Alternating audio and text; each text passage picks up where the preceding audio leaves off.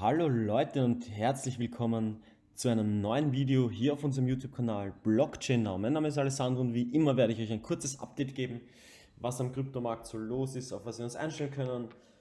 Und wenn euch das wie immer gefällt, Leute, dann bitte abonniert uns unbedingt auf Instagram, dass ihr wirklich hier up to date seid. Wir ballern hier immer wieder Trading-Strategien und die News raus.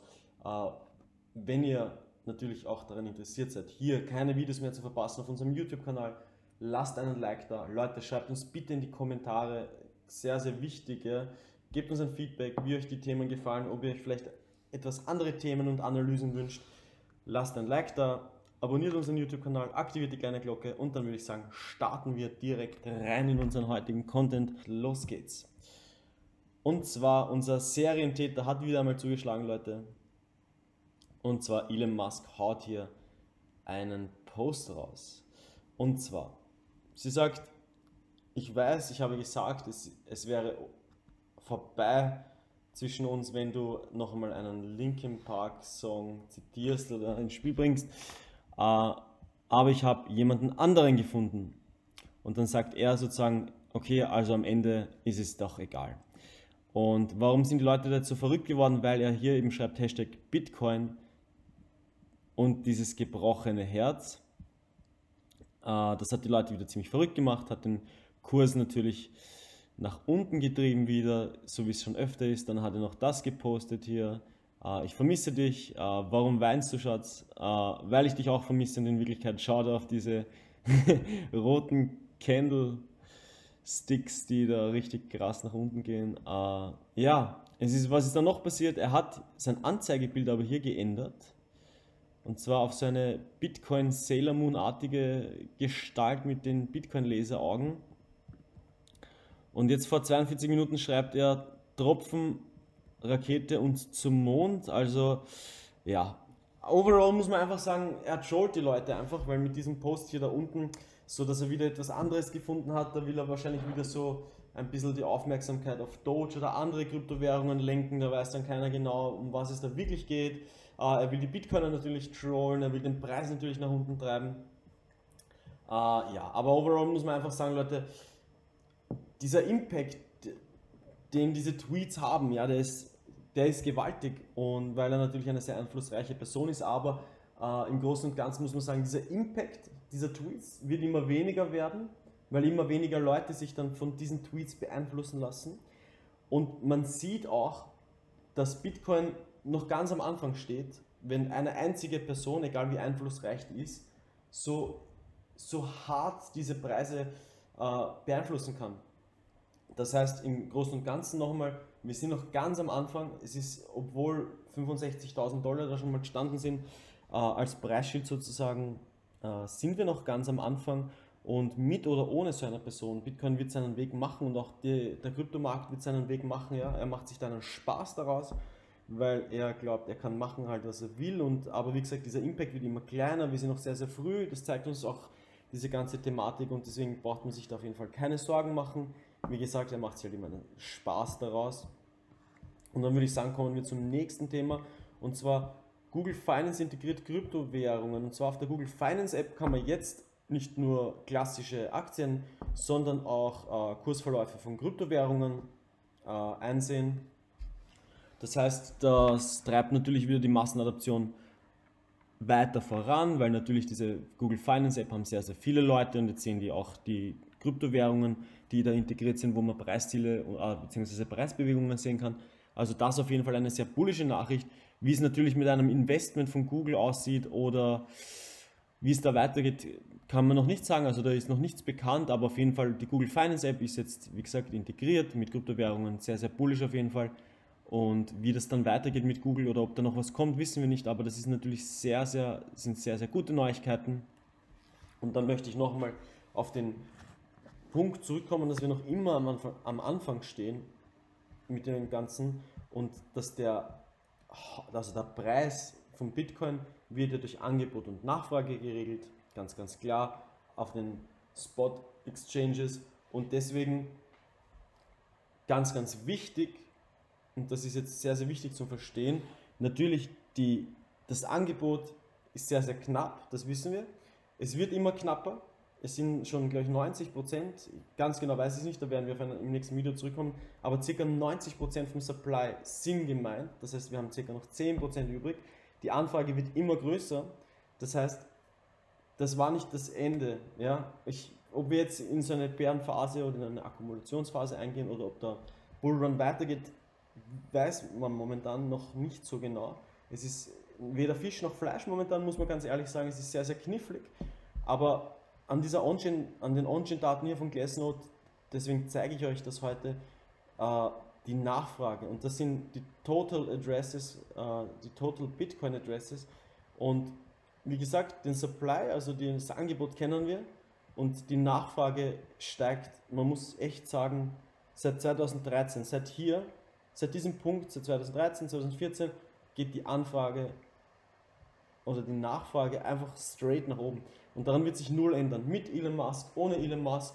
Und das ist auch ganz, ganz wichtig zu verstehen. Also langfristig hier zu investieren, wer länger als vier Jahre Bitcoin hält, äh, war bis jetzt nie im Verlust und das wird auch in den nächsten vier Jahren nicht so sein, wenn ihr am Top gekauft habt zum Beispiel. Aber wie gesagt, das große Ganze ist wichtig und deswegen zeige ich euch das. Es ist ganz, ganz wichtig zu verstehen, die Nachfrage überhaupt mit den institutionellen, mit den Google News, die jetzt da kommen. Also diese Massenadoption ist am Mega-Vormarsch. Ja? Das kann nicht mehr aufgehalten werden und deswegen ganz, ganz wichtig zu verstehen, das große Ganze sehen und sich auch von solchen Tweets nicht immer aus der Fassung bringen lassen. Und dann würde ich sagen, kommen wir schon in unsere Chartanalyse. Und zwar, was ist jetzt passiert? Wir gehen ganz kurz auf die kleineren Timeframes, dass man das noch besser sieht. So, Gut. So, was ist jetzt passiert? Und zwar folgendes. Wir aktivieren hier die EMA Ribbons. So, also. Wir haben ja hier, wie wir die EMA Ribbons nach oben hin durchbrochen haben, gesagt, wir werden hier erste kleine Long-Positionen öffnen. Das war im letzten Video. Wir sind auch hier aus unserem Symmetrical Triangle ausgebrochen. Ich habe im letzten Video gesagt, es ist ganz, ganz wichtig, auf diese Zone zu achten, ob wir hier eine Rejection sehen oder nicht weil hier auch die Daily EMA Ribbons kommen.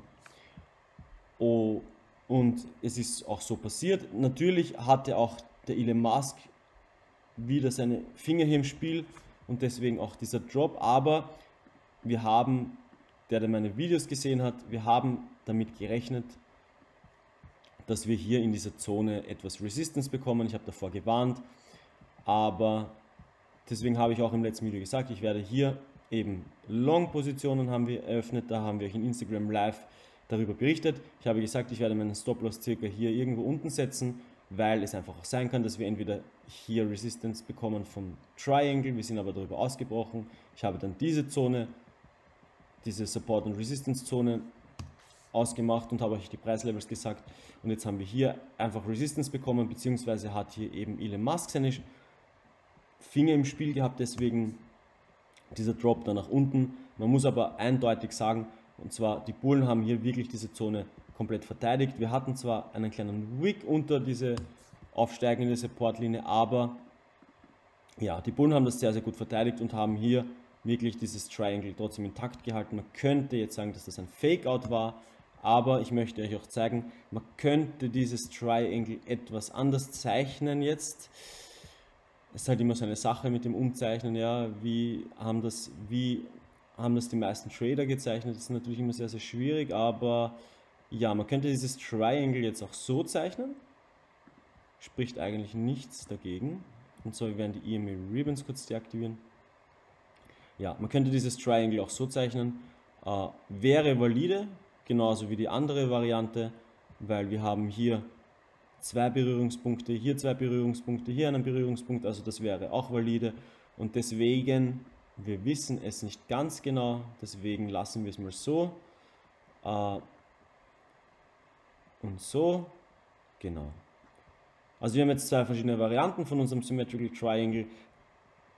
Das wäre ein Fake-Out gewesen, haben wir den Support gehalten und laufen hier jetzt wieder in diese Resistance. Ich werde einfach beide Varianten lassen, ist mir einfach persönlich lieber und dann werden wir schauen, wie sich das weiterentwickelt. Äh, ja, zu den Trades auf jeden Fall. Äh, wollte ich nochmal sagen, hier unbedingt unter dieser Support-Linie vom Triangle äh, Stop Loss halten. Die Position ist momentan plus minus bei 0, weil wir sehen hier, wir haben die Position hier irgendwo eröffnet. Das heißt, wir sind hier, wie gesagt, plus minus bei 0, Stop Loss unter die Dings, unter die Supportlinie, unter die aufsteigende, dann kann überhaupt nichts passieren. Und ja, wie gesagt, wir haben es auch hier wieder geschafft. Ihr seht auch schon hier, die EMA Ribbons am 4-Stunden-Chart haben ja diese Bullish ganz kurz geflippt, dann gleich wieder Bearish, wegen den Tweet auch natürlich und wegen dieser Resistance da oben.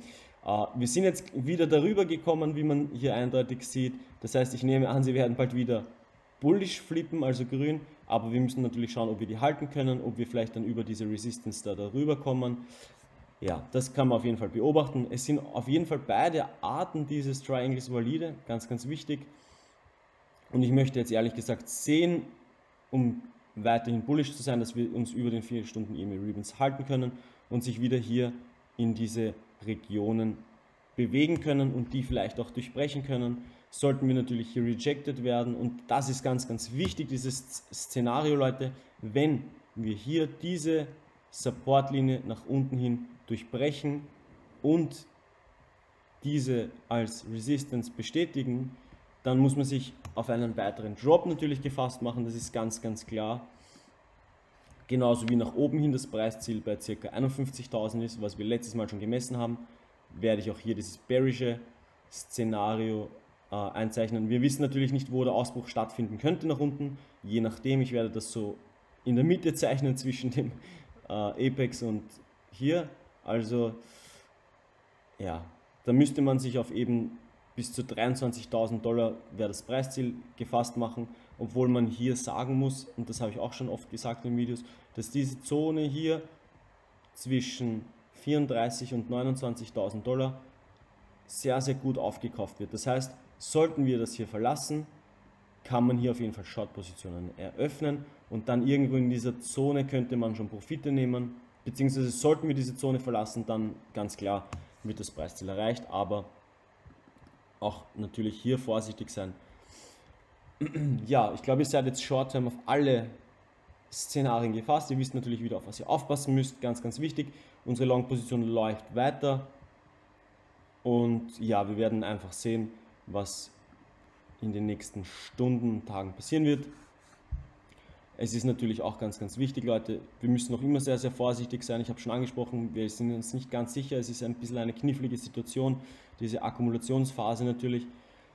Aber ja, mit vorsichtig, nicht zu großen Einsätzen und kleineren Hebeln ist das alles kein Problem.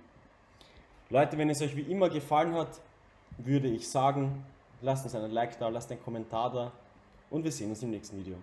Ciao, ciao.